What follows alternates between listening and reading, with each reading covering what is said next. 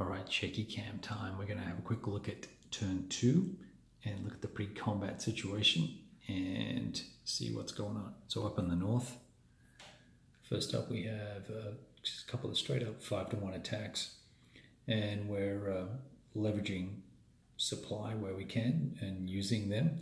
I just pop the the tokens that, that are going to be used over by where the attacks are happening once I've noted how far away they are from the specific uh, attacks that are happening so I don't forget to take them off the board. So that's why that dump is sitting out there because he was railed in over here and we simply uh, just dumped it, up, put it over there and and went for it from there.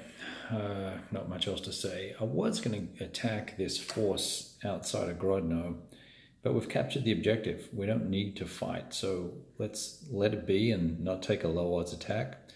Next turn, they will be out of supply or in emergency supply. The turn after that, they're going to be out of supply, and then we'll have uh, more fun attacking them. Well, it does slow down our movement, but I can uh, by that time, I will have uh, taken care of that emergency uh, unit under there. I can bring up that infantry and let them finish these guys off while the 18th uh, motorized and co pin them in place. Doing a little bit of cleanup over here. Uh, we'll have that guy isolated uh, next turn. Same here. Uh, we're going to go in and do this attack anyway. It was a three when we flipped it over. I was expecting it, you know, I had a good chance of it being a one, and it wasn't. Uh, shit happens.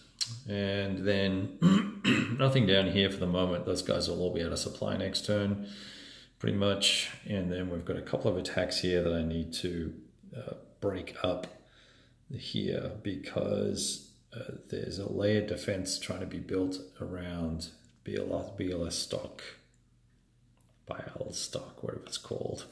And I need to get to that sooner rather than later so we can cut it off and, and, and do our thing and then move onwards up that this main road here, right? Okay, down by the Brest-Litovsk uh, area, not a whole lot going on. Lots of movement along the roads here. We've got one de declared attack here. This guy withstood a overrun, whoops, uh, withstood an overrun this turn, last turn, this turn I should say, in the movement uh, phase.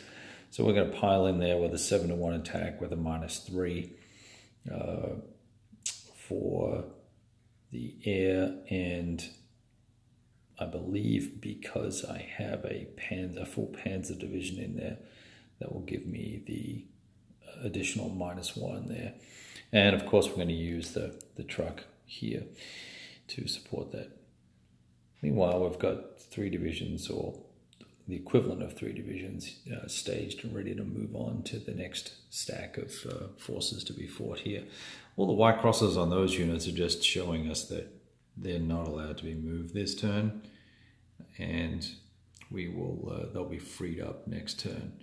You've got uh, Minsk in the distance just there and then further on all the way up over there is uh, Smolensk. So early days. It's playing pretty quickly. Uh, more double checking to make sure I'm not making major mistakes. Little ones we can live with. Uh, the Das Reich and uh, the 10th Panzer have arrived. They came on down here.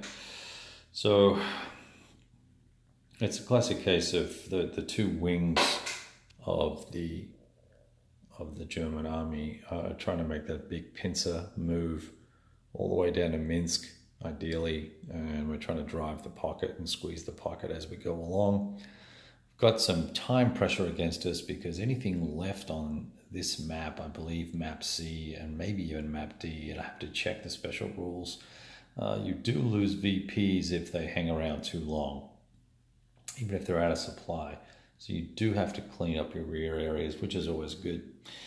Otherwise, it's too easy for the for the Germans just to, you know, say hey whatever and just uh, carry on and and uh, and ignore their their backfield because these guys can't really do much damage uh, individually, but there are some strong units if you work to combine them and the German player was stupid enough they could cause some damage. All right, let's go off and roll some dice and see what happens. We'll talk to you again soon.